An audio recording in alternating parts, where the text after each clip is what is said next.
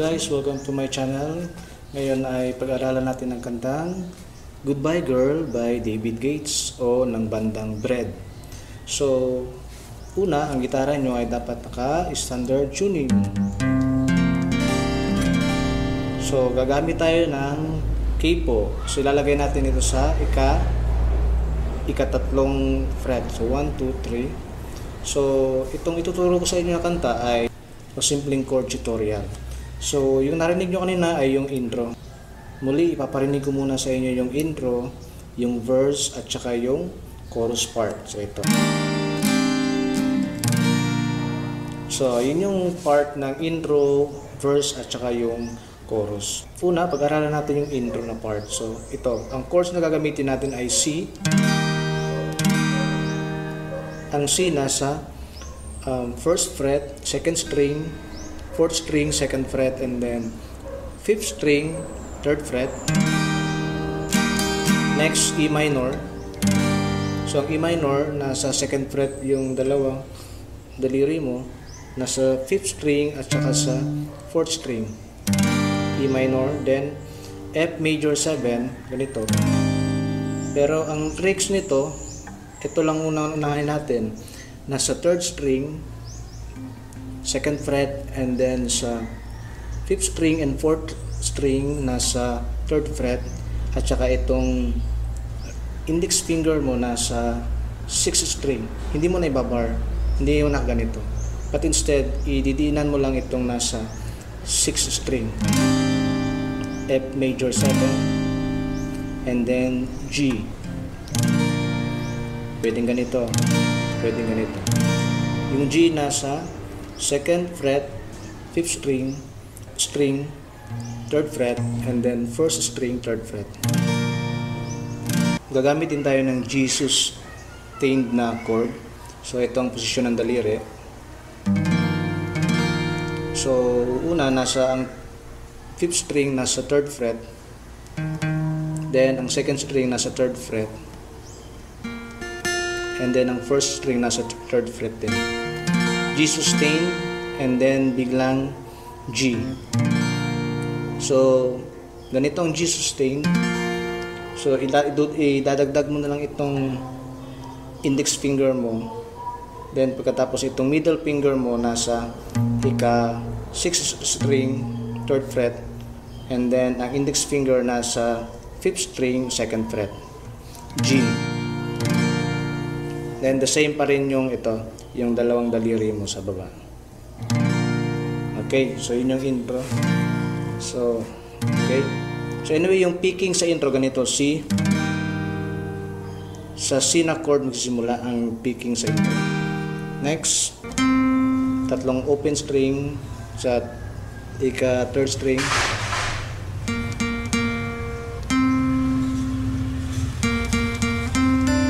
Next, open sa second string. Ulitin natin. 1, 2, 3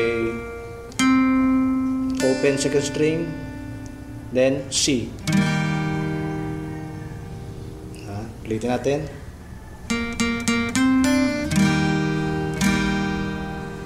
Next E minor. E minor isang bagsak Next, open ang second string. Then, ang daliri mo nasa first, first fret, second string. Yan. Open. Next. Open again. Another na diin sa second string. Kumbaga, naka E minor, bagsak sa E minor. Yan. Ulitin natin. C.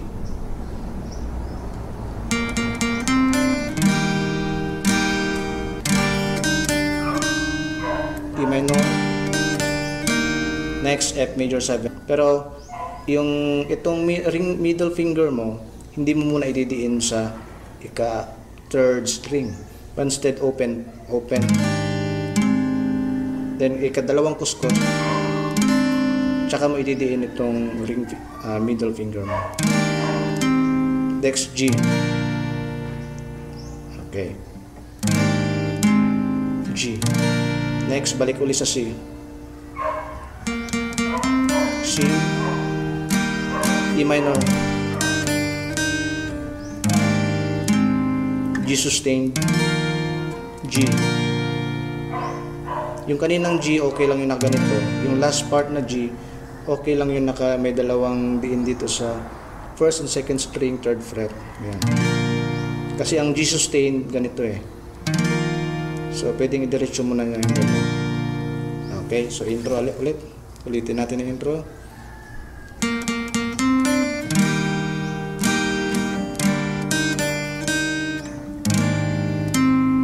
G C E minor F major 7 G sustain G. Okay. So yun yung intro. Next tumungo tayo sa sa verse. Ang chords na gagamitin natin C E minor A minor and E minor. So, E minor. Next, A minor for love. Balik sa E minor. Yan yung unang linya ng kanta no, sa verse. C, again, ulitin natin.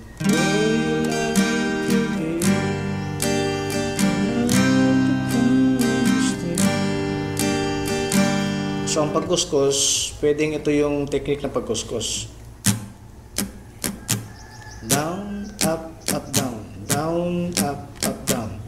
Pwede ring down, up, up, down, down. Down, up, up, down, down. Sa ganun lang, pwedeng down, up, up, down. Down, up, up, down. So, subukan natin.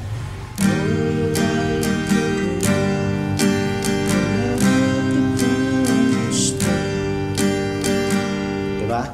So, ulitin natin. So, C,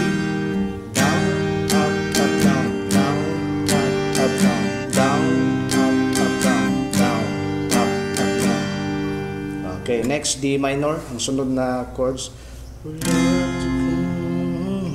A minor, F, major 7, G sustained, then biglang G. So, simulan natin sa pinakauna, C.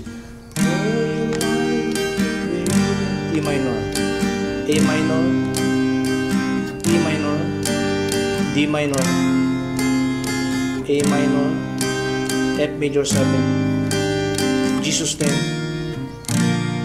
So sa G sustained, isang strum, next G. Okay? Sige, ulitin natin. C, C, E minor, A minor, E minor, D minor, A minor, F major 7, G sustain. Next, balik ulit sa the same chord progression. So, iulitin natin ng dalawang beses. So, ayun. So, anyway, ang D minor chords pala dito, ang ganito. Nasa first string, first fret, third string, second fret, and then second string, third fret. D minor, and then A minor. Ito. Nasa second string, first fret, fourth string, second fret, and then third string, second fret. A minor. Okay? Ulitin natin yung verse para makuha na natin to. C. E minor. A minor. E minor. D minor. A minor. F major 7. G sustain. G. Balik ulit. C. E minor. A minor. E minor. D minor. E minor. G sustain. So sa last part na G sustain, ah, hindi na isang bagsak, but instead medyo mapoprolong ng konti. Kasi ang kasunod dito ay chorus. Okay? So sa chorus, dito tayo. Sa chorus na. C, E minor, F major 7, G. So, nagpapabalik-balik lang yung chords, di ba? So, ang chorus ganito pala. Cause, cause baby, goodbye. Doesn't mean forever. Let me tell you goodbye.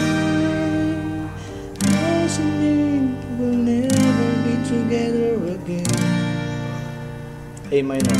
We wake up in night. E minor. F. Long away. F minor. Cause you think should do my goodbye girl. D7, G7, and C. So yun, isa-isahin lang natin. So ang chords ng chorus ay C, Cause baby goodbye, E minor, If F major 7, G, Let me tell you goodbye, C, E minor, F major 7, So, meaning dalawang beses lang natin inulit yung dalawang line, no? Na sa in terms of chords. Next, A minor. If you wake up tonight, E minor, F won't belong away. So, yan. Cause the things you do, A minor, D7, G7, and C. So, ano lang yan. So, ulitin natin A minor, If you wake up E minor, I won't F. Next A, F minor. So anyway, kung nahihirapan kayo mag-F, ito yung technique para sa mga beginners. Ito. So ipe-press mo lang, ibabar mo lang yung first at second string. Then, itong third string nasa second fret. Ang fifth string and fourth string nasa third fret. So yan. F. Pagkatapos ang F minor, simplified ito na F. Ang F minor na simple rin, hindi mo na ibabar. Itataas mo lang yung ano, sa ikatatlong first and second string nakabar. Pagkatapos kukunin mo itong middle finger mo. Balikan nyo lang yan. Okay. So ulitin natin.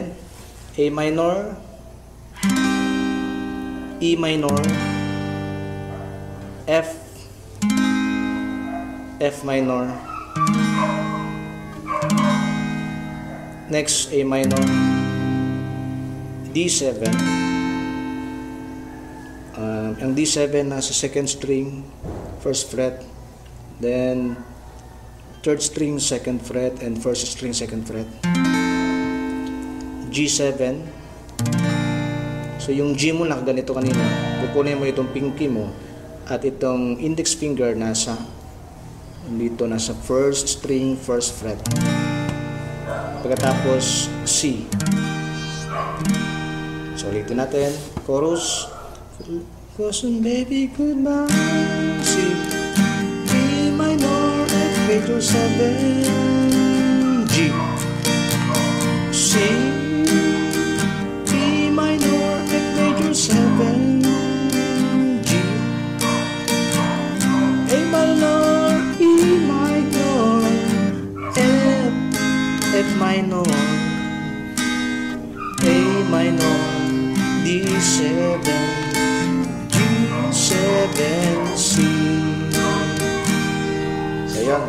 ulitin natin yung may lyrics na. Cause baby goodbye.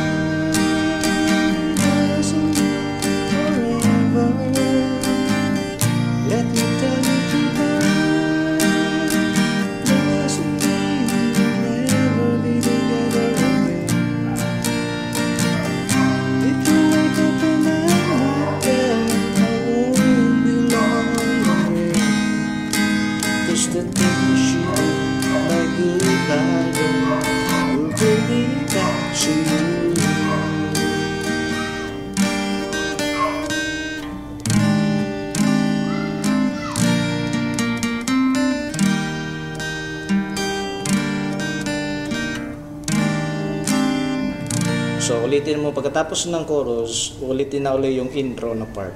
Next, second verse.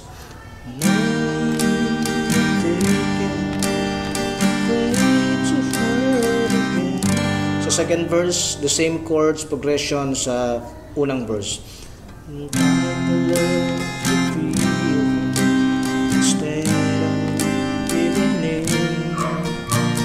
See my A minor, E minor, B minor, E minor, G sustain, G, remember goodbye, C, E minor, F major 7, G, C, E minor, F major 7,